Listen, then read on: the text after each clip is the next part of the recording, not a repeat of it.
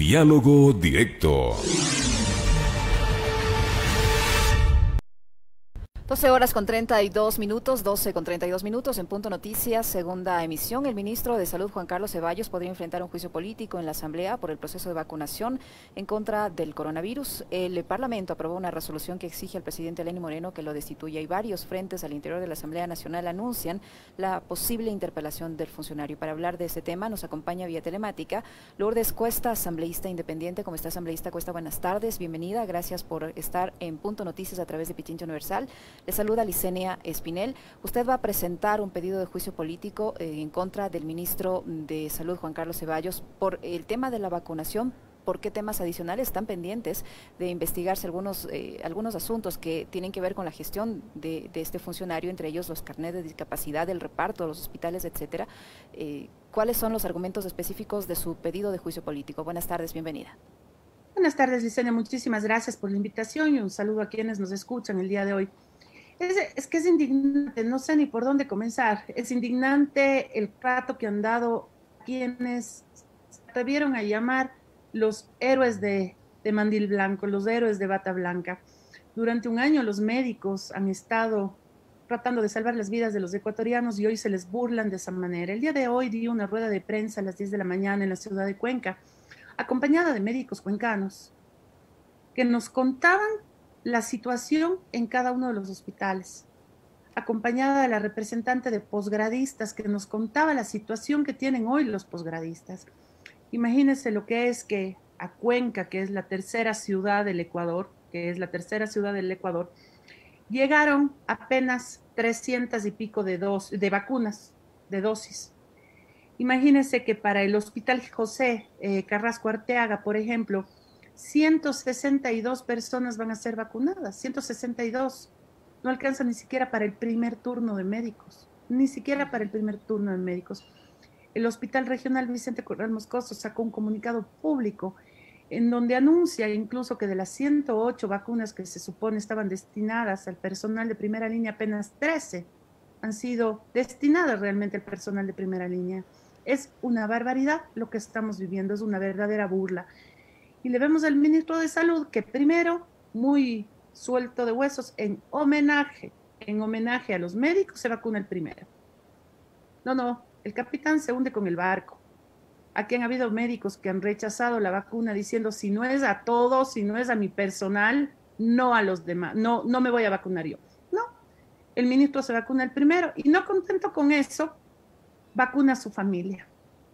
Yo también quisiera vacunar a mi mamá primero, con mi plata, pero con mi plata, no con la plata de todos los ecuatorianos. Ética pública, fondos públicos. ¿Qué diferencia hay entre vacunar primero a la familia y entregarle el contrato al primo, el contrato al tío, el puestito por ahí? No hay ninguna diferencia. Eso también es corrupción, eso es tráfico de influencias. Vemos a la persona encargada de supuestamente comunicación que se le pregunta incluso cuántas vacunas más vendrán y no sé si es torpeza, no sé si es burla, decir que no sabe que está en Washington acompañada de una carcajada. ¿Qué, es lo que está pasando en este país? Sabe que me preguntaban eh, ayer que si es que me sorprende lo que está sucediendo con las vacunas, si se repartieron los hospitales, iba a pasar esto con las vacunas no quiero perder la capacidad de asombro de verdad, porque el día que pierda la capacidad de asombro quiere decir que me di por vencida. Me indigna, me indigna, estoy indignada. Me contaban los médicos posgradistas que primero ni siquiera se les paga las becas, no se les da sus estipendios. Además no están incluidos en este primer eh, sanitario que está en primera línea, pese a que sí están en la primera línea. Pero déjeme comentarle algo. Eh, por ejemplo, posgradistas destinados al área de ginecología les dijeron no, la emergencia a COVID, este momento vayan a atender a COVID. Y ni siquiera les han podido cumplir con los contratos de esa mal llamada ley humanitaria. Penden en un hilo, penden de un hilo. No tienen ni siquiera pensado poner, por ejemplo, los posgradistas en el listado de vacunación. Y nos dicen que es información reservada, información reservada con fondos públicos. ¿Qué quieren? ¿Que no nos enteremos de qué? ¿De qué quieren que no nos enteremos? De que han estado vacunando amiguitos por ahí, de que han estado vacunando eh, compadritos por ahí. ¿De qué se trata todo esto? Por supuesto que tiene el ministro de Salud que ser llamado a juicio político. Yo no quiero que renuncie. No quiero que renuncie. No quiero que se vaya a su casa como si nada. Tiene que venir a rendir cuentas, rendirles cuentas a los ecuatorianos. De mi ciudad no se burlan nada. Cuenca es una ciudad de gente rebelde y estamos hartos del maltrato, hartos del maltrato, hartos de la sinvergüencería. No más se acabó. Asambleísta Cuesta, adelantado conversaciones con sus colegas legisladores para reunir el número suficiente de firmas que respalden este pedido de juicio político y qué posibilidades tiene de que esto prospere al interior de la Asamblea. Ya tenemos experiencias anteriores de pedidos de juicio políticos que no han pasado de eso, que se han quedado, y que cuando finalmente han logrado pasar después de muchos meses se han quedado congelados, como es el caso del juicio político al exministro de Economía, eh, al señor Martínez. ¿Qué posibilidades hay ahora en esta coyuntura con un buen grupo de asambleístas en campaña, con un CAL que no se puede reunir porque la mayoría de sus integrantes también están en campaña para que califique los pedidos de juicio político? ¿Qué posibilidad hay de que esto camine y avance en la legislatura? Mire, Licene, yo también estoy con licencia, pero no estoy ni sorda, ni, ni muda, ni ciega. Y no me voy a quedar callada. Nosotros tenemos lista la solicitud para que el día lunes 8 de febrero, que me reintegro a mis funciones como asambleísta, está presentado ese juicio político. Y por supuesto que voy a tener las firmas de apoyo. He hablado ya con varios colegas asambleístas y yo creo que habrán más, habrá más de una solicitud. Y quienes se atrevan en este caso a, a protegerle, a blindarle, como ya vimos en otras ocasiones que pretendieron hacer, solo demostrarán que son parte del reparto, que son parte de ese blindaje no podrán encajonar el juicio político. ¿Por qué? Porque ya reformamos la ley orgánica de la función legislativa. Ya no puede el presidente de la Asamblea blindar a este tipo de funcionarios de este gobierno de incompetentes. El presidente de la Asamblea, una vez recibida la solicitud de juicio político, tiene un plazo máximo de cinco días para ponerlo en conocimiento del CAL y que éste sea calificado. No, no nos vamos a dejar, no vamos a dejar que más ecuatorianos sigan muriendo por la irresponsabilidad de este gobierno. Asambleísta Cuesta, hay la posibilidad. No vamos a dejar que sigan en la tron. No más sobreprecios en fundas de cadáveres, en insumos médicos, no más. Y ahora con las vacunas, no más. ¿Existe la posibilidad, legisladora Cuesta, de que estas solicitudes se unifiquen eh, para que no, no, no se distraiga la atención de los legisladores y se unifiquen en un solo pedido? ¿Hay esa posibilidad? ¿Legalmente es posible?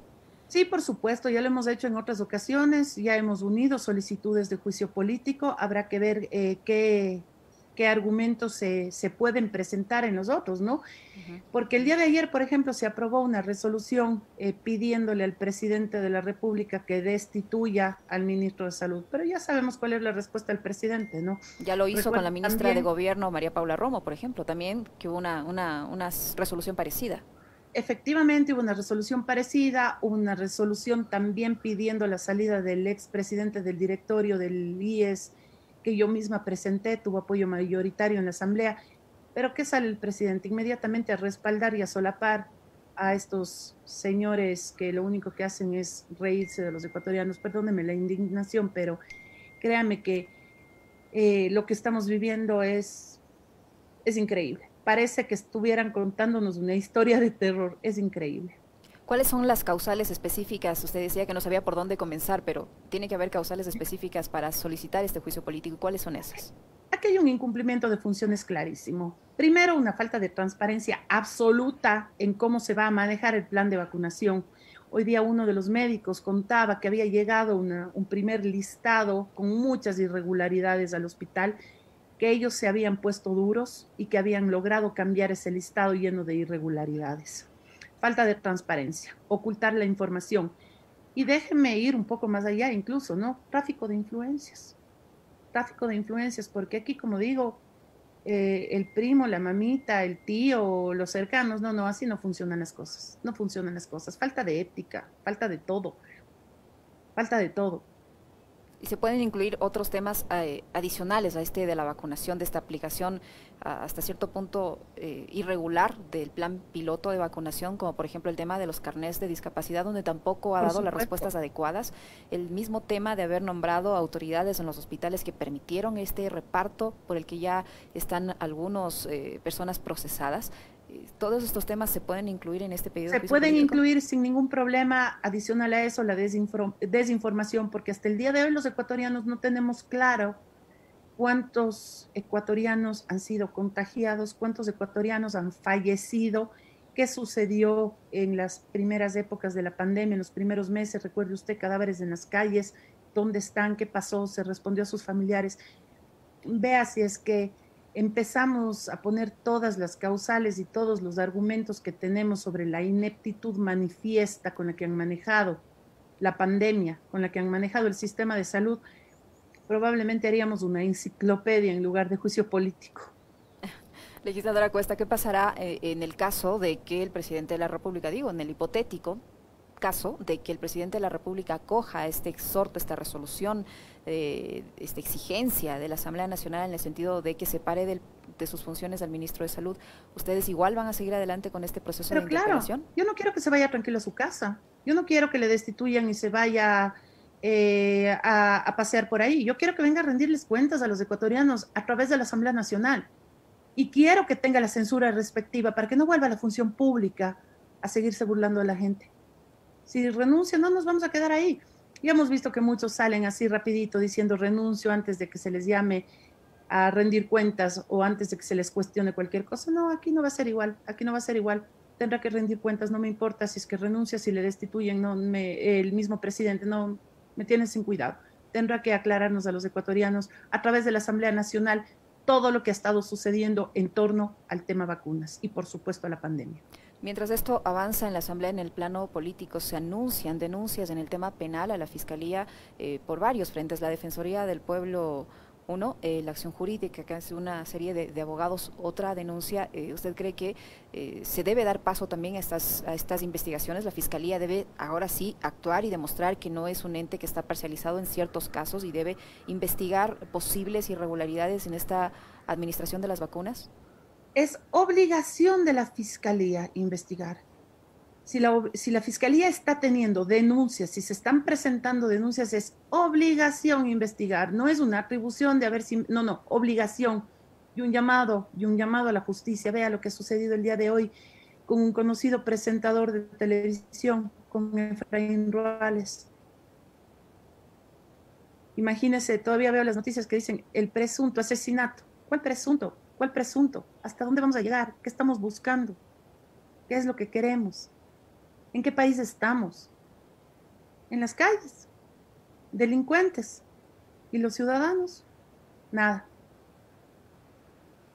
Para finalizar, asambleísta Cuesta, ¿usted cree que eh, este cambio, un posible cambio en la interpelación que derive en el cambio del ministro de Salud va a mejorar la administración de la crisis sanitaria en el país, va a mejorar este plan de vacunación, tomando en cuenta que esta es una política eh, de Estado, que el funcionario finalmente responde a una política de Estado, a las órdenes eh, del presidente de la República? ¿Usted cree que se sintiera la ausencia, así no le reemplacen por nadie? Con la ineptitud con la que han manejado si quedara vacante el cargo de ministro, créame que los ecuatorianos ni siquiera sintiéramos. Ni siquiera sintiéramos. Sí, han habido políticas que son absolutamente absurdas. El día de hoy justamente se hizo un planteamiento por parte eh, de los médicos. ¿Por qué no permitir que el sector privado de la salud compre al gobierno, al mismo gobierno, al mismo Estado, como no tiene plata el Estado, que compre las vacunas? Quien tiene dinero va y vacuna a la mamita en el sector privado, ¿no es cierto? Y así el sector público puede encargarse de los más vulnerables y de los que menos tienen. Se libera el sector público de una carga tremenda. Y no solo eso, han propuesto incluso cómo funcionan las derivaciones, por ejemplo, del IES o las derivaciones del Ministerio de Salud Pública. Cuando no pueden, derivan a clínicas privadas que ya están o hospitales privados que están ya dentro del sistema Sí, se les paga tarde, malo nunca, pero como decían los médicos el día de hoy, estamos dispuestos a asumir ese riesgo. si es que alguien no tiene para pagar la vacuna y el sistema de salud está colapsado, va y saca su código en el IES, va y saca su código en el Ministerio de Salud, se acerca, se acerca a uno de los hospitales privados de la red y se le vacuna de manera gratuita. El sector privado ya se entenderá, entenderá después con el, con el público. Ya sucede eso en el Ecuador, pero ni siquiera tienen esa visión, ni siquiera tienen esa esa idea. Y también ya me genera cuestionamientos, ¿no? Me, me genera suspicacias. ¿Por qué encerraditos decidiendo? Espero que no sea por troncha y otra vez reparto. Para finalizar, el legisladora Cuesta, hay denuncias de médicos que aseguran que no han recibido la dosis de, la vacuna contra el COVID-19, sin embargo, sus nombres aparecen en carnets eh, de vacunación. Y, precisamente esto ha pasado en, el ASUAY. ¿Usted conoce algo al respecto? ¿Ha llegado usted ese tipo de denuncias o los médicos que le acompañaron en su rueda de prensa conocen de esas denuncias? He tenido denuncias de todo tipo y muchos médicos eh, también tienen la preocupación de las represalias que pueden tenerse en contra de ellos precisamente por estas denuncias. Muchos de ellos hoy día me escribían y me decían, queremos estar ahí, pero ya nos han dicho que cuidado ya nos han dicho que cuidado. Entonces, está, estamos rodeados de, actos y de una barbaridad que realmente imagínense lo que es que alguien conste en un carnet de vacunación que no se le ha puesto la vacuna, no va a tener posibilidad después de vacunarse. O como nos están ocultando información, ¿cómo se puede dar seguimiento a aquellas personas que sí tuvieron la primera dosis de vacuna, se la merezcan o no? Sí. O debían ser vacunados o no en esta primera fase, cómo dar un seguimiento para que reciban su segunda dosis, porque entiendo que puede traer graves consecuencias el no recibir la segunda dosis. Hasta en eso no piensan, hasta en eso no han pensado. Por eso se necesita transparencia en la información, justamente que es lo que no quieren dar. Muy bien, muchísimas gracias, asambleísta Cuesta, por su tiempo, por la información que nos ha proporcionado y estaremos pendientes de cómo avanza este proceso de interpelación en contra del ministro Juan Carlos Ceballos, titular de la cartera de salud. Gracias a la legisladora Lourdes Cuesta, asambleísta independiente.